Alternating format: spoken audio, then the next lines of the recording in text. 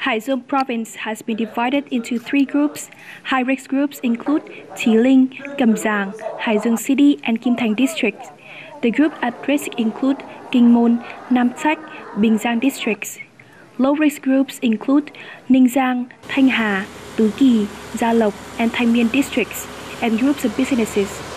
So far, Hai Duong has tested nearly 240,000 samples and will be taking over 162,000 samples in the coming days. In addition to the medical staff, we have mobilized more than 600 students from the medical universities in the locality.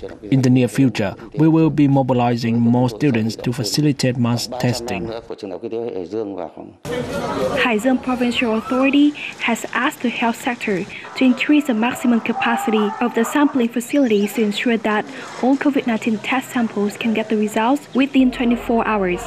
In recent days, the screening have helped Hai Duong control major outbreaks in Chí Linh City, Cẩm Giàng District, and especially in Kim Liên Kobun, Kim Thành District. We are taking samples from almost all markets in the province. Fortunately, all samples have tested negative for the virus. Mass testing is happening on a large scale.